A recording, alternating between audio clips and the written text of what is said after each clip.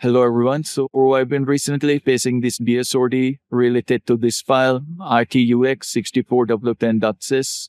And after researching for nearly two days, I think I might have found the fix for it.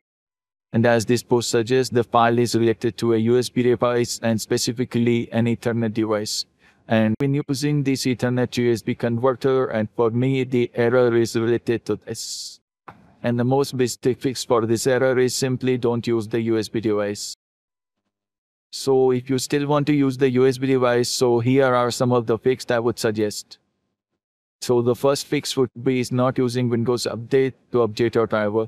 Instead, go to your USB's website and download the upgrade from there.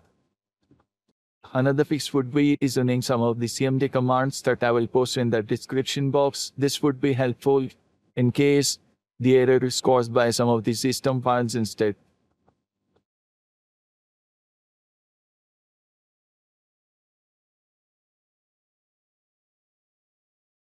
While running this command, type in Y and make sure to restart your PC once. I have already did this once, so I will not do it again.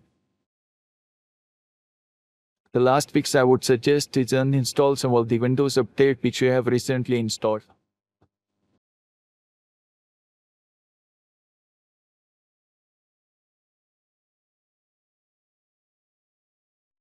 Thank you so much for watching guys and I will see you next time.